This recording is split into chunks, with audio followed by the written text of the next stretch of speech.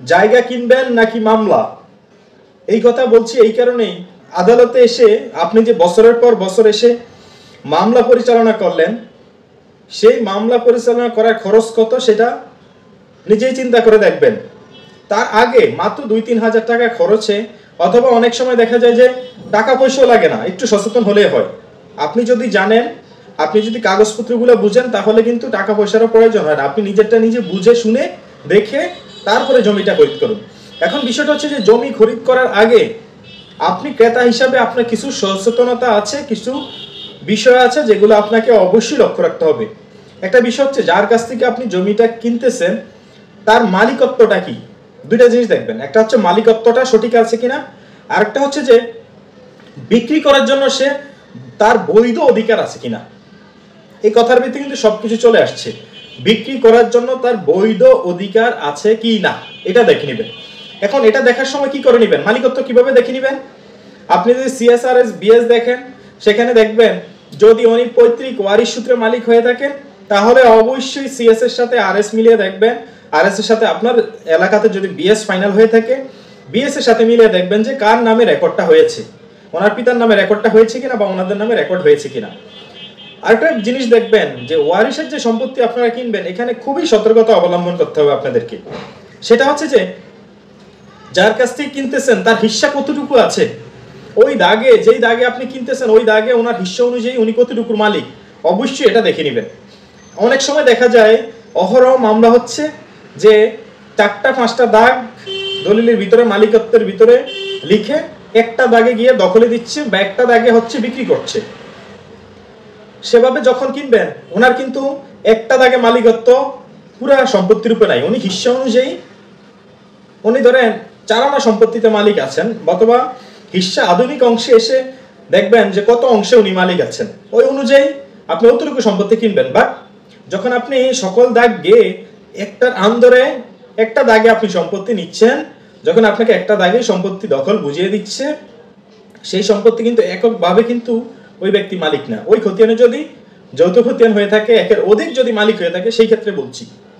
যদি একক মালিক হয়ে থাকে, তাহলে তো সমস্যা নাই। আপনি ওই একক মালিকের খতিয়ানে যতটুকু সম্পত্তি আছে, আপনি চাইলে উনি বিক্রি করতে পারবে, আপনি চাইলে কিনতে পারবেন। বাট একের অধিক যদি মালিক হয়ে থাকে, ওয়ারিশদের ভিতরে যদি মালিক হয়ে থাকে, অথবা পিতার নামে রেকর্ড হয়েছে, পিতা এখন জীবদ্দশা নাই। এখন ওয়ারিশ তার পাঁচজনের মালিক আছেন। এখন দেখতে হবে যে আপনি ওই সম্পত্তিতে যে বিক্রি করছেন, ওনার কতটুকু হিস্সা উনি কতটুকু মালিক? কোন কোন দাগে কতটুকু মালিক? পুরা খতিয়ানে কতটুকু মালিক এবং কোন কোন দাগে কতটুকু মালিক? ওই অনুযায়ী দাগ অনুযায়ী ক্রয় করবেন, ওই দাগ অনুযায়ী দখল বুঝিয়ে নেবেন। চারটা, পাঁচটা দাগ দেখি, একটা দাগে দখল বুঝিয়ে দিবে বাট আপনাকে তো এক দাগে পুরো সম্পত্তি বিক্রি করছে না।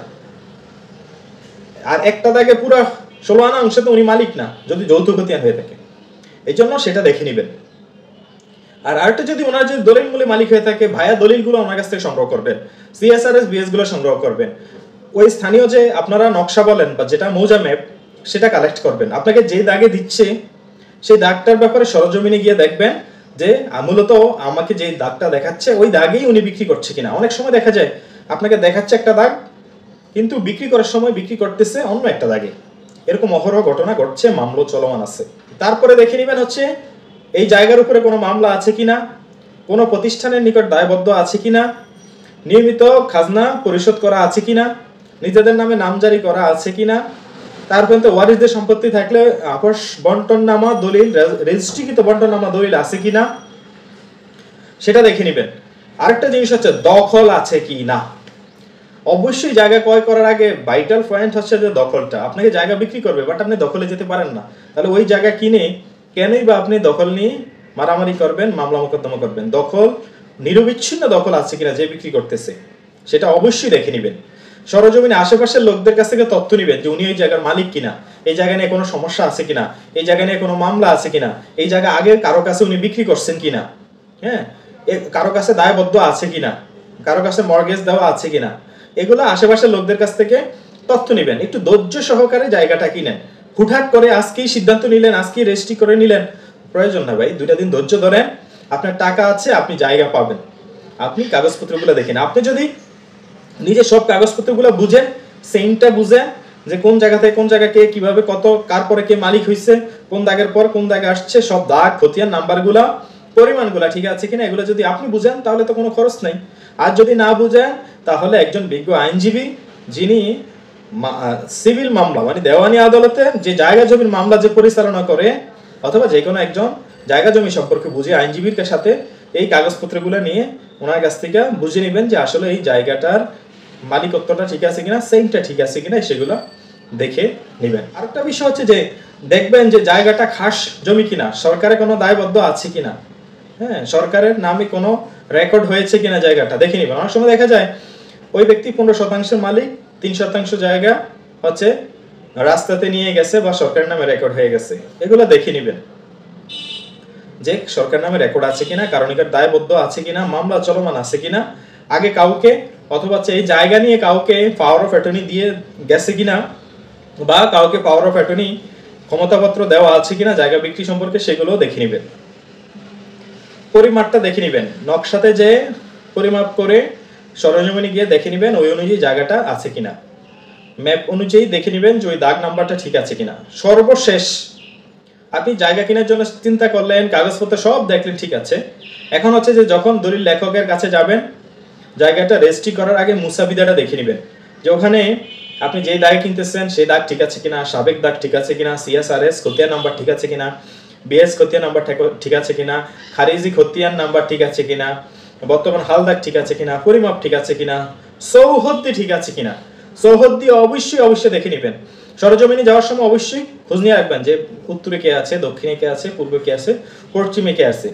এমনকি মুসাফিদার সময় দেখবেন যে সহদ্দিটা ঠিকমতো দেওয়া আছে কি না অনেক সময় দেখা যায় জায়গার সহদ্দি দেওয়া আছে অন্য একটা জায়গায়, বিক্রি করতেছে আরও একটা জায়গাতে। এগুলো আপনি দেখে নেবেন। অবশ্যই বৈধ অধিকার আছে কিনা যে বিক্রেতা তার, সেটা অবশ্যই আপনাকে খুঁটিয়ে খুঁটিয়ে খুঁটিয়ে খুঁটিয়ে দেখে নেবেন। সচেতন হতে হবে, না হলে কিন্তু বিপদের সম্মুখীন হবেন। আপনি দুই তিন হাজার টাকা খরচের ভয়ে আইনজীবীর সাথে দেখা করেন না, আইনজীবীকে দিয়ে কাগজপত্রগুলো চেক করিয়ে নেন না। অনেক আইনজীবী আরও কম ফি নিয়ে থাকেন, ব্যক্তিভেদে আরও বেশিও কেউ নিয়ে থাকেন। আর আপনি যদি বুঝেন, তত খরচের প্রয়োজন হচ্ছে না। আপনি এই অল্প টাকা খরচ হলেও আপনি একজন অভিজ্ঞ কাগজপত্র বুঝে এরকম ব্যক্তি দ্বারা আপনি অবশ্যই মালিকত্বটা দেখে নেবেন। ওনার যে বিক্রি করছেন, ওনার বৈধ অধিকার আছে কিনা, কতটুকু বিক্রি করার বৈধ অধিকার আছে, ওই দাগে কতটুকু বিক্রি করার বৈধ অধিকার আছে, অথবা হচ্ছে ওয়ারিসদের সম্পত্তির ভিতরে কোনো বন্টন নামার দলিল রেজিস্ট্রি করা আছে কিনা, থাকলে দেখে নেবেন বন্টন নামা দলিলের ভিতরে উনি কোন কোন দাগে কতটুকু অংশ পেয়েছেন। অবশ্যই অবশ্যই দেখে নেবেন, জায়গা সম্পত্তি ক্রয় করার আগে। এই হচ্ছে এতটুকু। অগোছালো ভাবে কথাগুলো বলেছি, সেগুলো দেখে নেবেন। জায়গা ক্রয় করার আগে সিএসআরএস বিএস নেবেন, খালিজি খতিয়ান নেবেন, ভূমি উন্নয়ন করেন, কাগজ নেবেন, দলিল নেবেন, ভায়া দলিলগুলো নেবেন তারপর মৌজা ম্যাপ নেবেন, সেগুলা সরজমিনে গিয়ে আশেপাশে খোঁজ দিবেন এই জায়গার উপর মামলা চলমান আছে কিনা কারণ নিকট দায়বদ্ধ দেওয়া আছে কিনা জায়গা, মালিক দখলে আছে কিনা, সহদ্দি দেখে নিবেন, মৌজা ম্যাপ নিয়ে দাগ নাম্বারটা দেখে নিবেন, হাল দাগ, সাবেক দাগ মিলিয়ে নিবেন হ্যাঁ তারপর কারণ নিকট ক্ষমতাপত্র দেওয়া আছে কিনা সেটা দেখে নিবেন ভূমি উন্নয়ন নিয়মিত প্রদান করে কিনা কাগজপত্র দেখে নিবেন। মালিকত্ব সেম ঠিক আছে কিনা সেটা অবশ্যই দেখে নিবেন। না হয় কিন্তু বিপদের সম্মুখীন হবেন এবং ওয়ারিসদের সম্পত্তির ক্ষেত্রে খুবই সচেতন হবেন। অংশের অতিরিক্ত সম্পত্তি ক্রয় করবেন না। যদি না বন্টন নামা রেস্ট্রিকৃত বন্টন নামা দলিল থাকে। যদি রেস্ট্রিকৃত বন্টন নামা দলিল থাকে, তাহলে অবশ্যই দলিলটা দেখে বুঝে তারপরে ওভাবে দখলটা বুঝে নেবেন। আর চার পাঁচ দাগে দেখিয়ে আন্দরে একটা দাগে বিক্রি করতেছে সেটা নেবেন না। তাহলে আপনি দেখা যায় অনেক সময় দেখা যায় বাবা মৃত্যু হওয়ার পরে দুই ভাই দুই বোন মালিক আছেন। দুই ভাই কি করছেন? ওয়ারিশ সনদেবীতে নাম অন্তর্ভুক্ত করছেন বোনদের নাম অন্তর্ভুক্ত না করে বিক্রি করছেন। এরকম ঘটনা ঘটে। অথবা এক বোনকে বাদ দিয়ে দিতেছেন অথবা এক ভাইকে বাদ দিয়ে দিতেছেন ওয়ারিশ সনদে। এসে তথ্য গোপন করে বিক্রি করে। এগুলা যাচাই বাছাই করে নেবেন। দেখে নিবেন যে কতজন ওয়ারিশ আছে সবাই নাম রেকর্ড হয়েছে কিনা সবাই হিস্সা অনুযায়ী মালিক কতটুকু হয়, এগুলো সব দেখে নেবেন। সবাই ভালো থাকবেন, সুস্থ থাকবেন, দোয়া করবেন। আর পরবর্তী ভিডিওতে আলোচনা করব যে জায়গাটা খরিদ করার পর আপনার করণীয় কি, সে বিষয়ে আলোচনা করব।